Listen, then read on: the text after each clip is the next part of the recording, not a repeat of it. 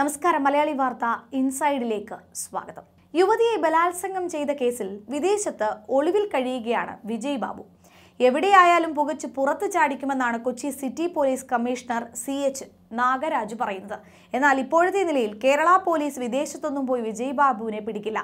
തൽക്കാലം രണ്ടാഴ്ച കാത്തിരിക്കാമെന്നതാണ് തീരുമാനം. അതിനുള്ളിൽ പരമാവധി തെളിവുകൾ ശേഖരിക്കും.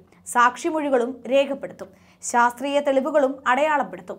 അങ്ങനെ മുൻകൂർ ജാമ്യാപേക്ഷ പരിഗണനയ്ക്ക് വരുമ്പോൾ എട്ടിന്റെ പണി കൊടുക്കാമെന്ന കണക്കുകൂട്ടലിലാണ് അന്വേഷണ സംഘം നീങ്ങുന്നത്. എന്നാൽ പരാതിക്കാരുടെ പേര് വെളിപ്പെടുത്തി നിയമ സംവിധാനത്തെ പോലും വെല്ലുവിളിച്ചതോടെ വിജയ് ബാബുവിനെ കോടതിക്ക് മുന്നിലും തൊലിയൊരിക്കാനാണ് പ്രോസിക്യൂഷൻ നീക്കം.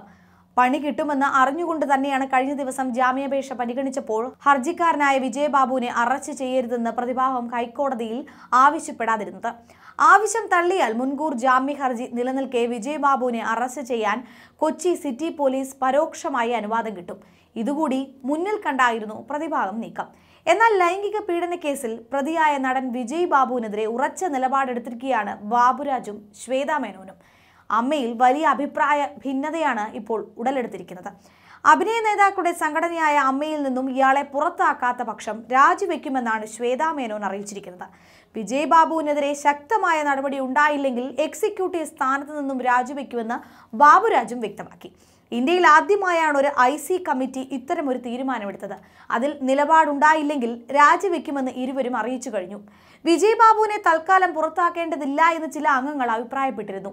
വിജയ് ബാബുവിന് പതിനഞ്ച് ദിവസം സമയം അനുവദിക്കണം. കോടതി ജാമ്യാപേക്ഷ പരിഗണിക്കുന്നതുവരെ വിജയ് ബാബുവിനെ പുറത്താക്കരുത് എന്നാണ് പലരുടെയും ആവശ്യം. വിജയ് ബാബുവിനെ പുറത്താക്കിയാൽ ജാമ്യത്തിൽ ബാധിക്കുമെന്ന് ചില എക്സിക്യൂട്ടീവ് അംഗങ്ങൾ അറിയിച്ചു. എന്നാൽ ഒരു കാരണവശാലും കൂടുതൽ സമയം അനുവദിക്കില്ലെന്നാണ് ഐ നിലപാട്. ഇന്നലെ ശ്വേതാ മേനോൻ അധ്യക്ഷയായ ഐ സി കമ്മിറ്റിയുടെ യോഗം നടന്നിരുന്നു. രചന രാമൻകുട്ടി കുക്കു പരമേശ്വരൻ മാലാ പാർവതി തുടങ്ങിയവരും കമ്മിറ്റിയിൽ അംഗങ്ങളായിരുന്നു. വിജയ്ബാബുവിനെതിരെ കർശനമായ നടപടികൾ സ്വീകരിക്കണമെന്ന് ഐ സി രേഖാമൂലം എഴുതി കൊടുത്തിരുന്നു. വിജയ്ബാബു ഇരയുടെ പേര് വെളിപ്പെടുത്തിയതിലൂടെ സുപ്രീം കോടതിയെ പോലും വെല്ലുവിളിക്കുന്ന നടപടിയാണ് സ്വീകരിച്ചത്. അത് അംഗീകരിക്കാനാവില്ലെന്നും വിജയ്ബാബുവിനെതിരെ നടപടി സ്വീകരിക്കണമെന്നും ഐ സി കമ്മിറ്റി ശുപാർശ ചെയ്തു. ഇന്ന് നടക്കുന്ന അടിയന്തര എക്സിക്യൂട്ടീവ് യോഗത്തിന് ശേഷമായിരിക്കും വിജയ്ബാബു വിഷയത്തിൽ അന്തിമ തീരുമാനമുണ്ടാവുക.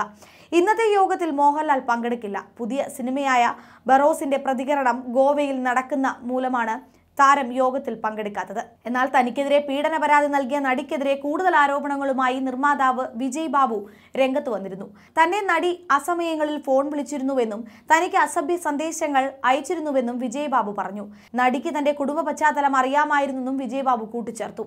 കോടതിയിൽ സമർപ്പിച്ച ജാമ്യാപേക്ഷയിലാണ് നടിക്കെതിരെ പ്രതി ഗുരുതരമായ പരാമർശങ്ങൾ നടത്തിയത്.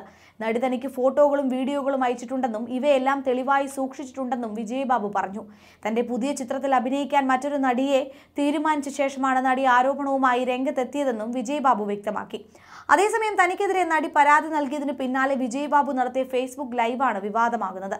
ലൈവ് വീഡിയോയിൽ ഇരയായ നടിയുടെ പേര് വെളിപ്പെടുത്തിയ വിജയ് ബാബു രൂക്ഷമായ വിമർശനമാണ് ഇപ്പോൾ നേരിട്ടുകൊണ്ടിരിക്കുന്നത്. ബലാത്സംഗ കേസുകളിൽ ഇരയുടെ പേര് വെളിപ്പെടുത്തുന്നത് നിയമവിരുദ്ധമാണെന്നിരിക്കെയാണ് വിജയ് ബാബുവിന്റെ ഈ നീക്കം. നടനെ നാട്ടിലെത്തിക്കാനും അറസ്റ്റ് ചെയ്യാനുമാണ് പോലീസ് ഒരുങ്ങുന്നത്.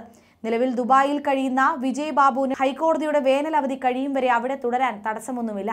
മെയ് പതിനെട്ടിനാണ് അവധി കഴിഞ്ഞ് കോടതി തുറക്കുന്നത്. അതായത് മെയ് പതിനെട്ടിന് ശേഷമേ വിജയ് ബാബുവിന്റെ മുൻകൂർ ജാമ്യാപേക്ഷ പരിഗണനയ്ക്ക് വരൂ. പ്രതിഭാവം വാദവും പ്രോസിക്യൂഷൻ വാദവും ഒക്കെ പൂർത്തിയാക്കി ഉത്തരവ് മെയ് അവസാനത്തേക്ക് പ്രതീക്ഷിച്ചാൽ മതി. അതായത് ഏതാണ്ട് ഒരു മാസക്കാലം വിജയ് ബാബുവിന് ദുബായിൽ സുഖവാസം അനുഭവിക്കാമെന്നർത്ഥം സാധാരണഗതിയിൽ ഒരു പ്രതി ഹൈക്കോടതിയിൽ മുൻകൂർ ജാമ്യാപേക്ഷ സമർപ്പിച്ചാൽ പോലീസ് പിന്നെ അറസ്റ്റ് ചെയ്യുന്നത് പതിവില്ല.